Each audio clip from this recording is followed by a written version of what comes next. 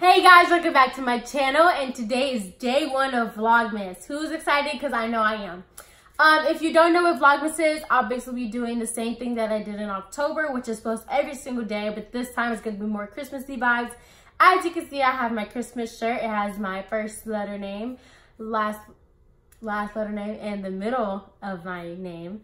Um, and yeah, uh, we got these shirts when we went to the Nutcracker Market last year. And so these shirts were uh, personally designed. This is my first time ever doing Vlogmas, so I don't know how this is going to turn out. I'm kind of nervous. Today is Vlogmas day one. So the best way to start off the Christmas celebration to me is to be able to bless others. So today, I and my daughter will be making blessing bags. So now me and my mom are going to be doing blessing bags, which we get to the homeless. Blessing bags are when you just fill it with um, condiments, people or stuff that they need, um, and like some goodies and all that. Um, my mom usually does this a lot for the homeless, um, but this time I am helping her. And so yeah, let's get started.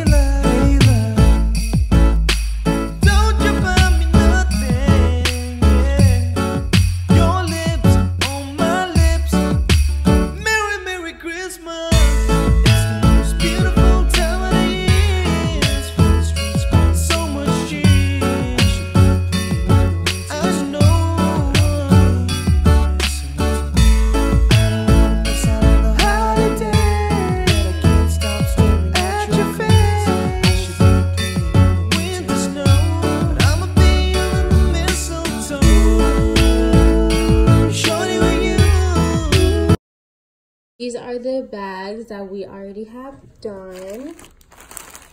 They each one of them says something like that one says have a blessed day, you are loved. This one says you are loved, have a blessed day. You know, stuff like that. Um, and yeah. Okay guys, I hope you enjoyed that video. Um, me and my mom did a lot of bags, which is really good for the holidays. Um, it is really good to give out, especially around Christmas time. Um, a lot of people don't have families or even friends around this time, so it's really important to just, you know, give back Um, because um, this is the holiday in the spirit of giving and yes, so a lot of these bags say like, like I said before, um, good sayings that, you know, they could just carry them in their heart. So if you guys enjoyed this video, please give it a thumbs up. Comment down below what you like to do if you were giving back to this community around Christmas time. And I will see you guys next time. Don't forget to subscribe.